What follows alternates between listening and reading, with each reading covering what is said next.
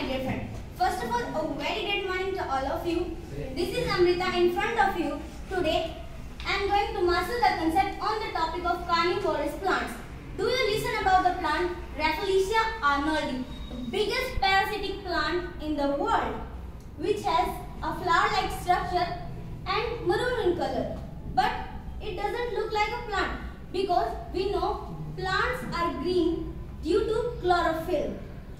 But do plants really need chlorophyll to survive? Today we are going to understand that things. Those plants which can prepare their own food with the help of sunlight, chlorophyll and water. Those plants are considered as autotrophic plants. But plants like Rafflesia cannot prepare their own food because they grow in that area which have lack of sunlight and they haven't chlorophyll to do the process of photosynthesis. Those plants can be considered as heterotrophic plants.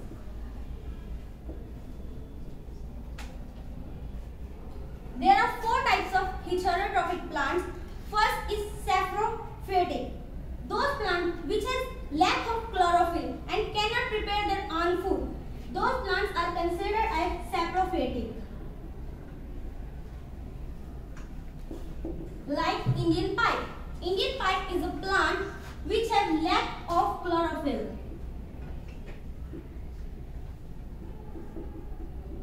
And the next one is insectivorous plants.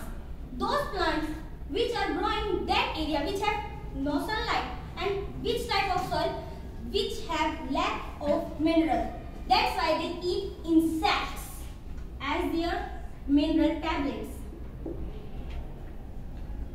Like Venus flytrap. Venus flytrap also not have chlorophyll and it is grow in this type of soil which have lack of minerals. And the next one is symbiotic.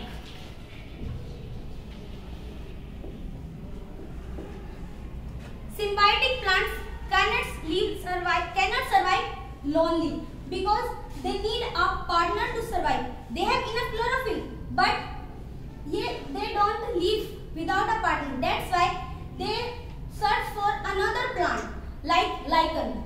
Lichen is a plant in which alga and fungus live together on another plant. These type of plants can be considered as symbiotic. Last but not least, parasitic plant, Rafflesia. Rafflesia is a plant which have lack of chlorophyll and a flower-like structure. It doesn't look like that, but it is a plant. It grows on another tree. A, a special type of vine, Indian chestnut vine. It start like grow a tissue, but grow bigger and bigger and bigger, and it have it have its own nutrition from its host. But let me tell you something honestly. It is quite thankless. It haven't anything in an, it haven't anything to return for their host. That's why they are considered as parasitic plant. Before I leave, I have a question for you. Rafflesia arnoldii has an extremely rotten smell, but it helps it to prepare its food. But how? I love to hear, I love to hear your answer in comment section below. And meanwhile, don't forget to subscribe our channel. Thank you. Have a nice day.